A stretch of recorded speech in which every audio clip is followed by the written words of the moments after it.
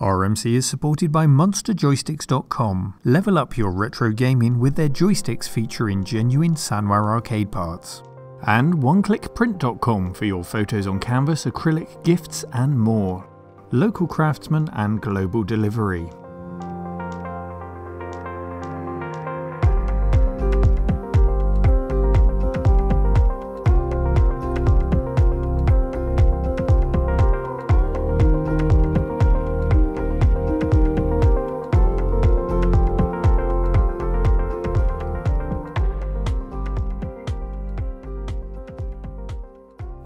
Cave dwellers. Welcome to the cave. We're going back to 1983 today, and if I say the name Mattel to you, what would be the first thing that you think of? Well, let me jog your memory with this distributor's catalogue from the same year, and in here we find such delights as Twirly Curls Barbie, well, I guess some things never change, the slightly nightmarish Monchichis, of course, the ever present Hot Wheels cars, and they look good, and the master of the universe himself, it's He Man. I had a Castle Grayskull myself and took great pleasure in sending Skeletor through the trapdoor. Now, the closest things we find to a computer in this catalogue are these. The Teach and Learn computer, all over the page, there's the Children's Discovery System, the likes of which we saw many toy companies produced, and they were little more than glorified calculators or speak and spells with a small LCD display and a selection of games to help with maths or vocab. You know the type of thing I mean. The catalogue, though, doesn't tell us the full story because Mattel had previous in their Intellivision console, something we'll talk about a little later today, and in that very same year, 1983, they bought out this, the Mattel Aquarius. Like so many others, Mattel wanted to get on board with what looked like was going to be a runaway train, a runaway success of home micros all around the world. And they weren't the first toy company to think of doing this. You'll remember if you saw my Dragon 32 series that Mettoy had the same idea and they bankrolled Dragon Data to create the Dragon 32.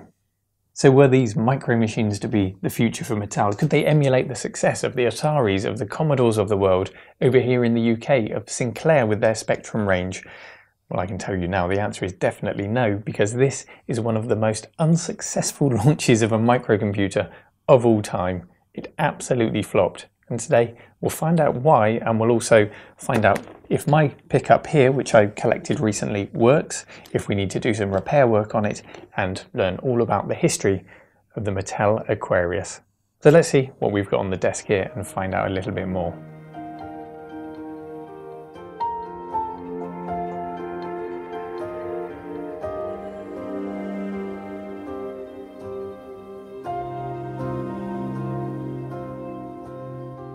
So everything you see on the table here, I picked up from a classified ad recently for just £60 and it was advertised as boxed and as working. Well, just one of those two statements turned out to be true and you can see the boxes on the table so you can figure out which one it is. But I was still pretty happy with what I've got because not only have we got the computer, we've got the printer over here, we've got the data recorder to play tapes, we've got the memory expansion and we'll talk about why we need that. We got a game, a cartridge-based game in Advanced Dungeons and Dragons, as well as some tape games.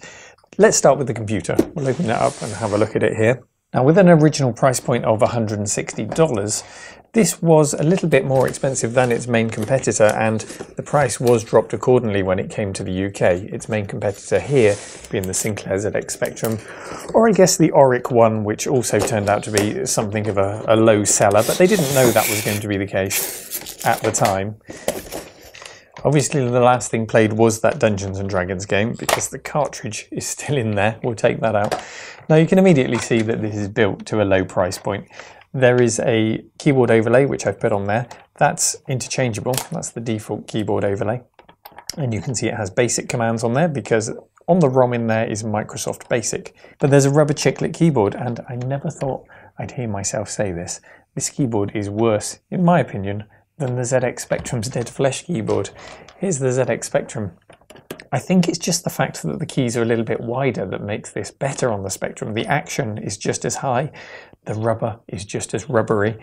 But because these are thinner keys, I don't know, I think your fingers just sort of slide off the side and you're never quite sure if you've pressed them. So, for the first time in my life, I found a keyboard that's not that's worse than the ZX Spectrum. Wasn't expecting to find that. So it's quite toy-like in its design. Where I've taken the cartridge out, there should be a filler that goes in there. Hopefully we'll find that in one of the boxes. Size-wise, it's about as big as an Acorn Electron. And on the back we have cassette port, we have the printer port, and an RF out. We'll need to tune a TV in to use this, so don't expect the greatest picture quality from it when we test it out. And there's, nothing, there's just the power switch on the side, so there's very little to it. And if I pop the lid off, we'll see what's driving it inside. There is the keyboard ribbon cable to connect it to the main board, so just be careful. Oh, just be careful, he says, as the keyboard overlay flies off. Um, just be careful if you're opening it up not to catch that ribbon cable and break it. So what is driving this? Well, the CPU is a Z80, just like the ZX Spectrum and many other computers of the period, running at 3.5 megahertz. More often than not, these would be NEC branded Z80s, as this was manufactured in Asia by Radofin. You can see the label there. But we've actually got a Zilog Z80 here, so this was uh, manufactured slightly differently to others. And Radofin would also manufacture the Dragon MSX for Eurohard, who were part of the Dragon 32 story we mentioned earlier. But that never left the prototype stage, so there's some fun crossover there between our two stories. When it comes to memory, this thing only has 4 kilobytes of memory, a ridiculously low amount of memory even by 1983 standards. In 1980, the VIC-20 had 5K. In 1982, if you had a little bit more money, the Commodore 64, of course, had 64K. The ZX Spectrum had a 16 or 48K option, so 4K just wasn't cutting it. And add to that fact, when you've loaded the operating system, when you've loaded BASIC into the machine, when you get to a point where you can actually start typing on it and using it, the message comes up, free memory available, just 1.7 kilobytes. Ridiculous. Who thought that was a good idea? And that, of course, is where this comes in. The 16K memory pack, which would give us an additional 16K, of course, taking us up to 20K. Oh, we've got all sorts in here. We've got the, that looks like the cable for the cassette player, so that's in the wrong box. Here's our 16K. So this slots in here, and you'll immediately be saying to yourself, well, hang on a minute. How do I use the 16K of memory? And a cartridge-based game at the same time? The answer is you can't. It's one or the other. One in, one out. Unless you bought yourself this. This is the mini expander. It's a whopping big expansion, as tall as the system itself, which gave you two cartridge slots, so you could put both your memory and your game in there, and it also offered two additional sound channels. Now this thing only has one sound channel by default, so that takes you up to three sound channels, and you can say goodbye to what few design lines the computer had when this was installed. It may as well have been branded the Transformer computer and had an Autobot hologram stuck onto the front of it in its defense, I guess, when that memory module's in there or when a cartridge is in there, there's no risk of RAM pack wobble, something that plagued the ZX Spectrum. If it wobbled in the slightest bit, it would reset the computer. That's in there nice and firm and solid. So let's take some silver linings from this. Now there's also a ROM chip on here which contains the operating system and Microsoft Basic of course. There are two types of ROM chip in the Aquarius the new and the old, and we can't identify which we've got by looking at the chip itself. But when we turn it on, we'll be able to see from the message on the screen itself if indeed we get a message. And the difference between the two is that on the old ROM, the one that was originally shipped with it, there were bugs, primarily bugs with the cload basic command, which was used for tape loading. So that was quickly fixed and a new ROM was issued.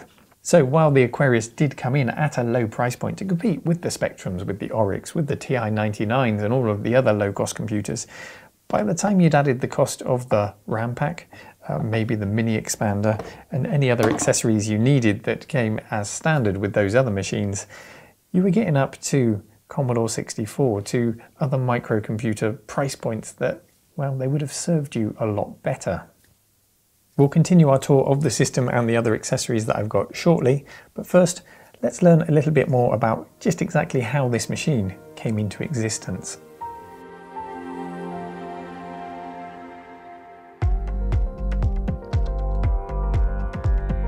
While Mattel had never sold a microcomputer like the Aquarius before, it had come close with the Intellivision in 1979. This was a pure games console in direct competition with the Atari 2600, and it wasn't a bad effort all things considered.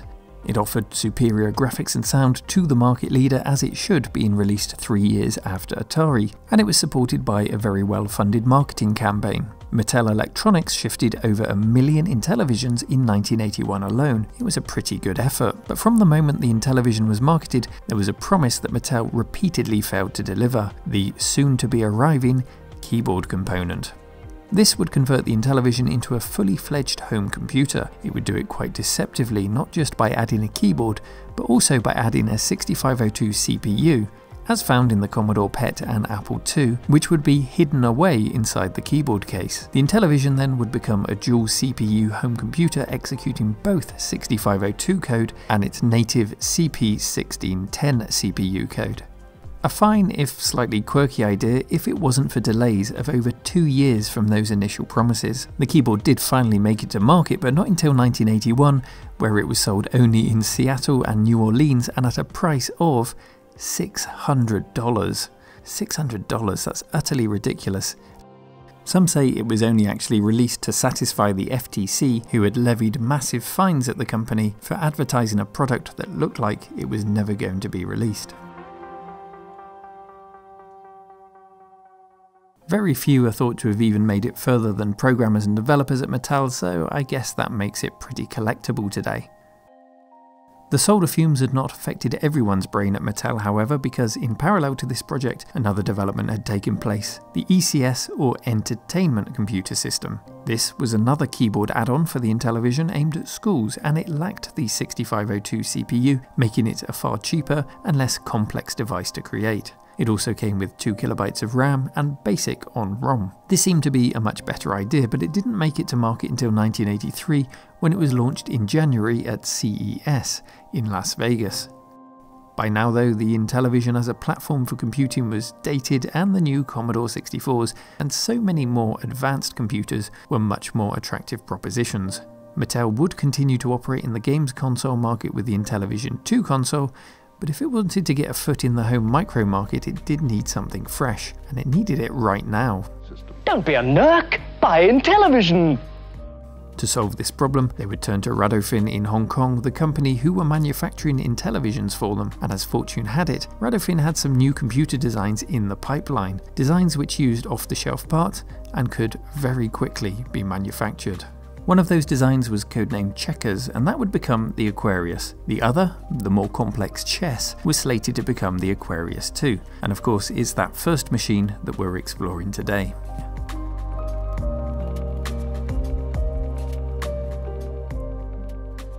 We saw the basic specs of the machine earlier then. There's the Z80A CPU, 4K of RAM, 8K of ROM with Microsoft Basic in there, and a further 2K with the character set stored in there.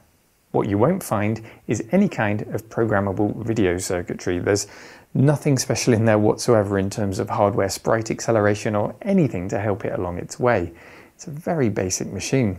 In terms of audio, there's just one single tone generator, and if you wanted any more than that, you needed the mini expander, which we saw earlier, and that contained the same AY audio chip as the much earlier Intellivision. This then a very basic machine that's not going to trouble the Commodore 64 with its VIC-2 video chip, with its SID sound chip. That was in a different league altogether. That being said, it could have been a lot worse. Mattel did tweak the original Radofin design to add a larger character set in ROM, and that included things like a running man character so that games could make better use of those predefined characters in their games, should they want to. I hate then to say that this was destined for failure from the start, but in the words of the very developers and programmers that created it, it was a microcomputer for the 1970s and not for 1983.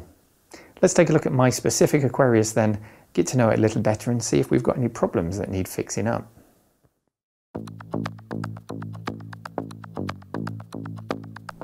Here is our Aquarius then, and my example isn't in terrible condition for its age.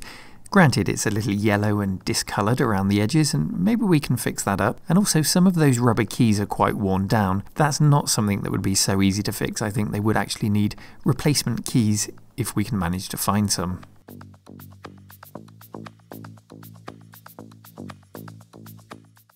We have looked inside and it's pretty clean. The original electrolytic capacitors are still in place and there are no heat sinks on the chips, just a voltage regulator attached to the metal chassis itself to use as a crude heatsink. But otherwise, it's not in bad shape at all.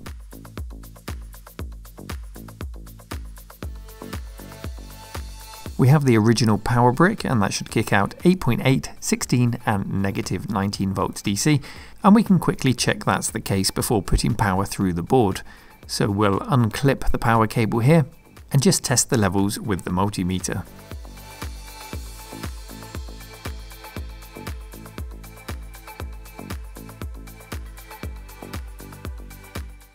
They'll be a little higher than it says on the case because the power supply isn't under any kind of load, so I'm looking for them to be within a few volts, with a solid reading that isn't drifting up or down, and it does all look good when we test it out here. So let's plug it in and we'll see what happens.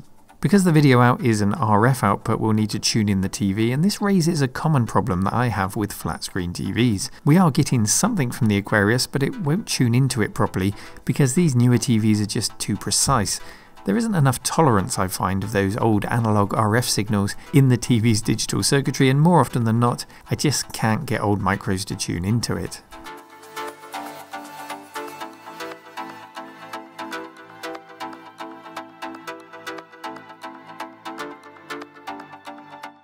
The VCR tends to be far better at this sort of thing, and sure enough, we have a nice solid picture from the Aquarius and Advanced Dungeons and Dragons, which is actually a pretty fun game to play as it turns out. Do we have a fully working machine then? Well, all is not as it seems. That would be too easy. But I can fully understand why this was sold as working. The seller probably didn't test it for long enough to see the problems, because after about 25 minutes of use, the screen started to flicker like this. And the more I used it, the more it flickered until we lost the screen entirely. If I let it cool down, everything is fine again for around another 25 minutes. So all in all, not a bad pickup for the price and something I think we can easily fix up. So that's what we'll do right now.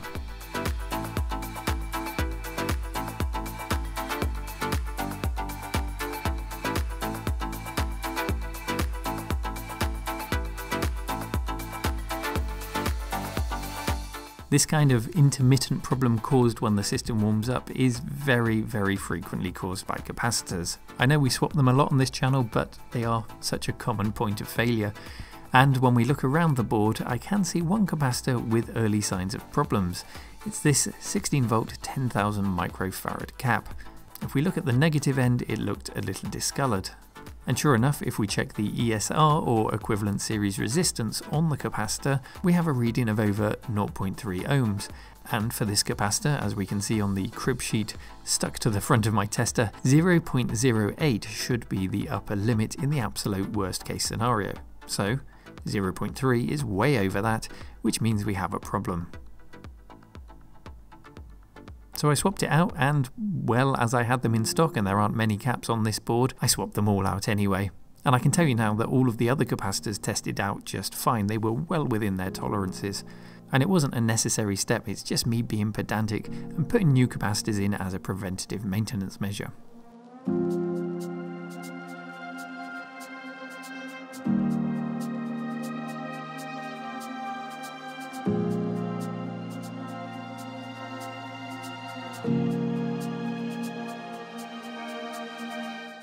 So while I'm soldering them in, I often get asked the question in comments, why do I snip the legs and then solder? And I'll tell you why. It's because when I didn't, I would often get asked, why don't I snip the legs and then solder? And honestly, it's not something I gave a great deal of thought to until those discussions in the comment section. But when I checked it out, sure enough, the correct textbook procedure is to snip first and then solder. This is because snipping after you solder can shock the joint. Is it likely to cause me lots of problems if I don't do that? Well, no, not really. We're talking about textbook procedure to meet military precision standards and avoid failure in mission or life critical situations. But if people take inspiration to try things out from watching my videos, I do try to set a good example, so now you know why. And of course, I get less comments complaining about it, so that's good.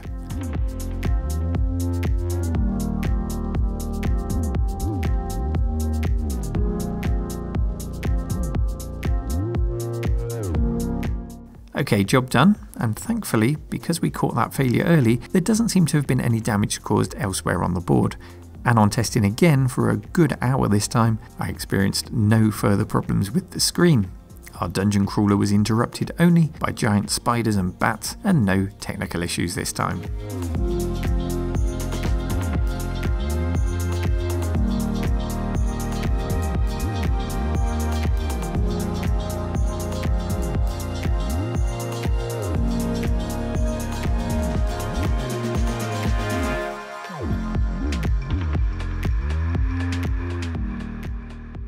So we have a much happier Aquarius now, a fairly simple fix for a simple computer by a simple man.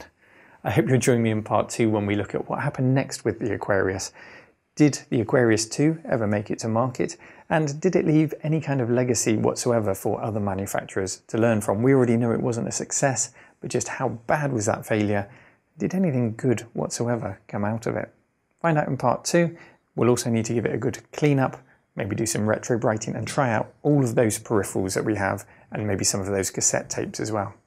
Until next time, take care and thank you for watching.